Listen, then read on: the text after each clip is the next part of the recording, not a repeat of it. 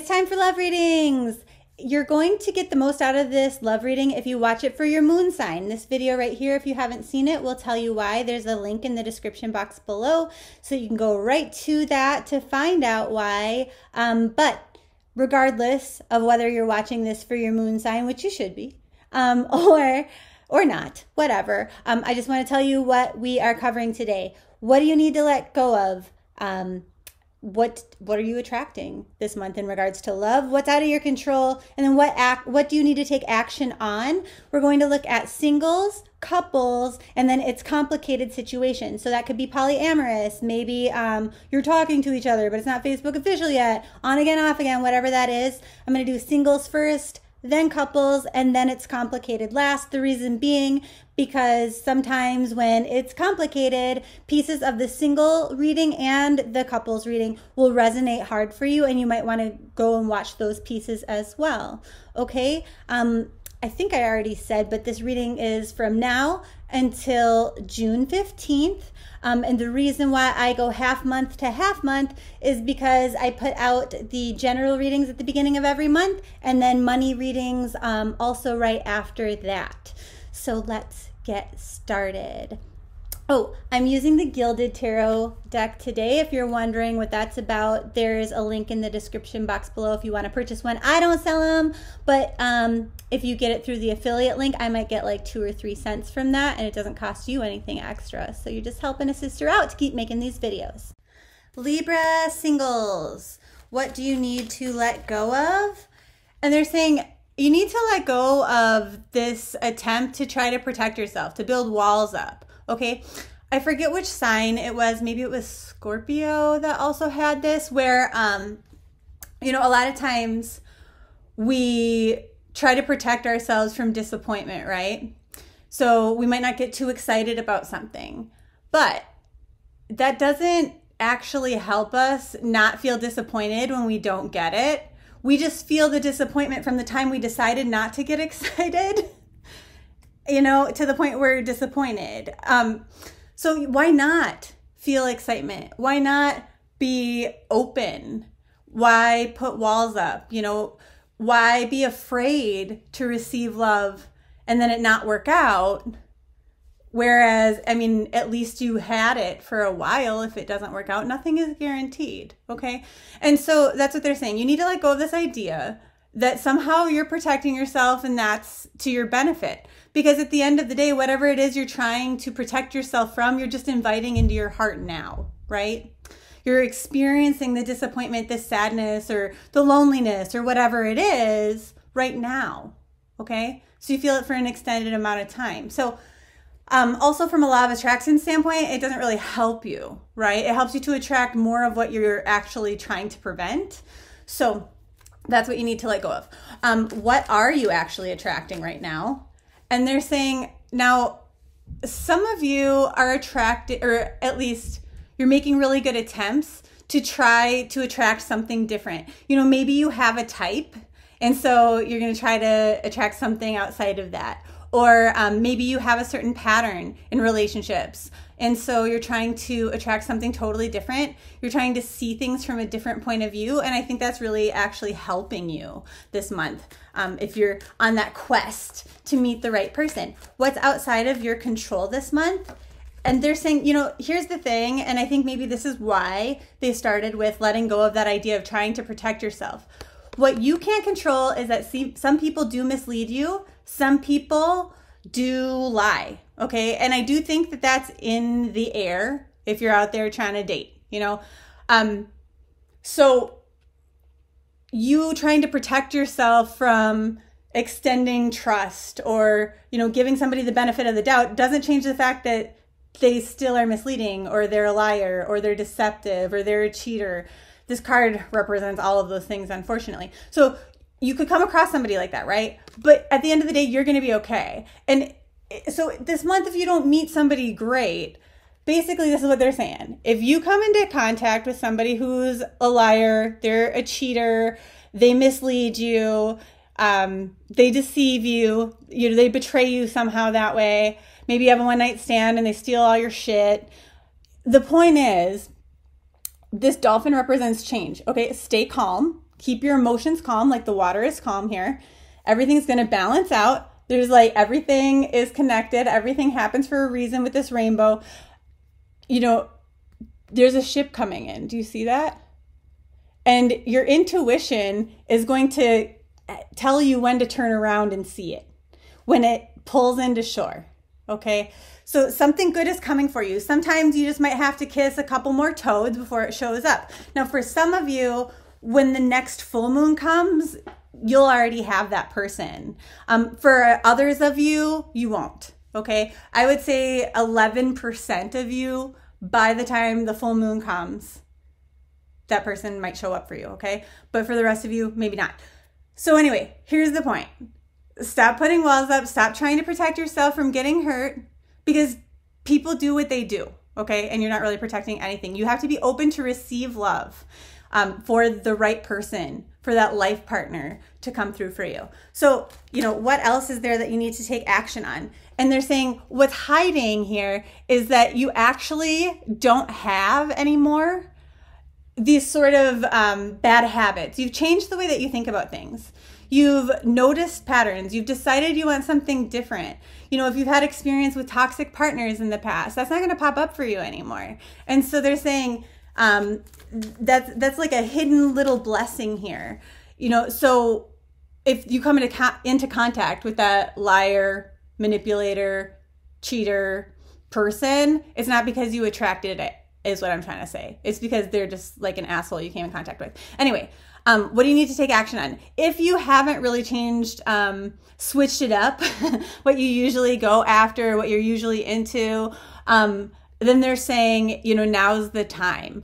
And so for some of you, this is also changing up your approach to dating. So maybe a, maybe some of you pre-coronavirus were like i'm not going to do the online thing and then um, maybe you live in a state that isn't opening up on june 1st and so now it's time to like think about that or um, maybe you are really into the idea of social distancing for a long time and so you're going to have to get comfortable with doing zoom dates or something like that no matter what however i mean this is going to that's a problem with um, general readings for like an entire group is that I can't be as specific. It's going to play out differently for all of you. You all have different situations, but for the majority of Libras, they're like change the way, change your approach a little bit. Okay. So, um, I mean, the right person is coming for you. That's the good thing, but it's kind of coming out of nowhere from behind you if you remain calm and you remain open. Okay. So, for a couple Libras, what do you need to let go of this month? And they're like this pretty picture perfect idea that you have of like what family is. Yes, it is that way sometimes, okay? But it's okay if it doesn't always look that way from the outside. Sometimes um you know, our flaws are actually our quirks and it what it's what makes us relatable or um you know, whatever. So that's what they're saying. Not everything has to be perfect 100% of the time in your family life. Like if you're stressing out that you don't have time to work and clean and cook and you know be the best mom ever and like, you know, whatever. They're just saying let go of that idea, okay? Let go of the idea that everything needs to look a certain way. Now, what is it that you're attracting into your relationship with your partner? And they're saying um things that are out of the ordinary, an untraditional type of um, like a new way of doing things, not doing things the same way that you used to in the relationship. And so that's fantastic because the previous card was like let go of this idea of how you think things should be or how they should look because positive changes come as a result. And so they're saying everything's going to be fine, okay? And just like Libra singles had, a ship is coming in for you. Something really wonderful is coming for you. If you can stay calm and go with the flow and let things change in your relationship a little bit. Um, but I feel like for a lot of you, this is more like it's not really changes within the relationship, it's more changes within the, um, the home. So, for example, this could be you and your partner moving in together. This could be um, a family where mom stops cooking and dad takes over. You know, um, it could be rearranging the house. It could be painting it hot pink, something crazy in the neighborhood. It could be anything. Um, but that's the point. It's like, let's do things a little bit differently than the way we've always done them. And for a lot of you, this is going to be about delegating tasks. You know, I'm going to start giving my children chores, you know, things like that. Um, so what's outside of your control this month in your relationship? And they're like, these changes have to happen. So, it, you know, it's going to feel better for you if you can just kind of stay calm and understand that there's a reward for you, even though you might not be super comfortable with change straight out the gate. Um, what do you need to take action on? And they're just like, you know, all these changes and all this stuff that they're saying, and like, don't worry about how things look from the outside. It's because it's starting to dim your inner light. Okay. And the reason why this is popping up in um, the love reading instead of in the general reading for you is because it's starting to therefore affect your intimate relationship. Like you're not feeling sexy, you're not feeling joyful. So your relationship is not going to be as deeply intimate on the emotional le- level, but even worse, it's not going to be nearly as sexy. This could be a very sexless month for you if you don't figure out how to do that and how to put yourself first more. This month is going to be all about, and remember, the month goes, you know, from now, whenever you're watching this, until the 15th of June. So if you don't put yourself first and really honor you and do what's good for you, you know, taking the time for self care to like, you know, eat well, get enough sleep, exercise, whatever it is that feels good for yourself then there's not going to be that passion, that desire. Like, even if you think that you're going to be horny, your partner might not be into you as much. They might not, um, you might not be as much of a magnet for them. Okay, so that's that would be annoying, right? okay, so moving on to those in complicated situations. What do you need to let go of? This idea that you have bad luck in relationships. They're like, a lot of you are having a really hard time letting go of that. And for some of you, the reason why is because you're still learning something. You're still in a cycle that hasn't completed yet. So, as much as you want to move past that idea, it's going to be real tough. Um, but that's what you should be letting go of. It's a mindset, okay? Now, what is it that you're attracting? And they're saying, well, you're attracting um, some slowness actually it's like delays, things taking their sweet ass time. But the positive side of that is that then they're very reliable. You know, you can slap something together, build a tower really fast, but if we don't take time to sit with an architect, it's going to be maybe not very structurally sound, right? So that's what they're saying here. It's, it's okay. You should be taking things slow. And um, actually, they say make a wish right now. Um, I got a number message that was 1111 and it's like make a wish, think about what you want because you can have it. But you have to be patient and you have to allow it to take the time that it takes. Okay? So, what's outside of your control? And they're saying you already know what that is. That's individual for every person. You know what's going on in your life. Um, interestingly, though, they threw some stuff here on the floor that they want to say sidebar. Okay?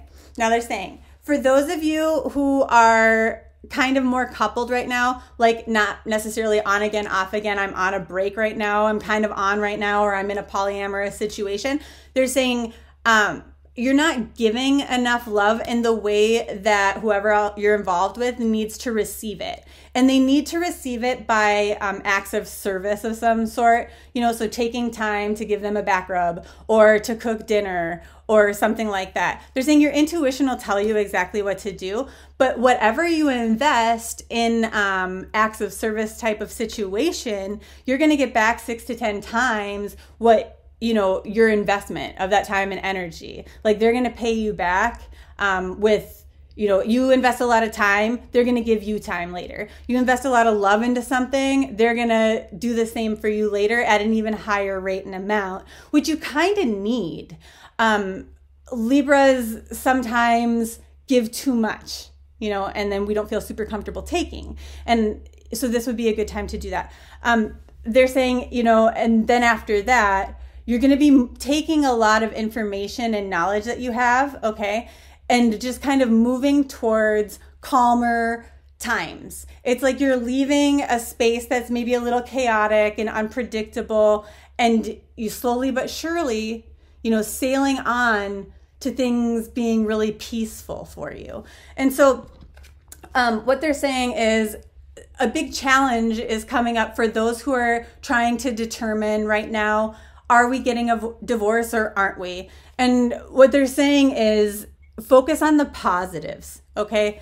And one of the positives is that if you're not, I mean, here's the thing people are always like, oh, well, maybe we should stay together because of the kids, or, you know, I invested a lot of time and energy into this relationship. I put 10 years in, like, I don't just want to walk away now. But they're saying, look, for those of you who are at that point, that person's not your forever person. They're not your soulmate. So the positive side of things is if you walk away from that, that just gives you more time to find the right one because that right one is out there. And for like two or three people in this situation, you might actually find it like in the next seven days. So that would be really cool, right? I mean, that would be a positive. So just decide what you want to do. Focus on the positives of where whichever side you're leaning towards and then just go. Okay? Love you so much. I'll see you next month.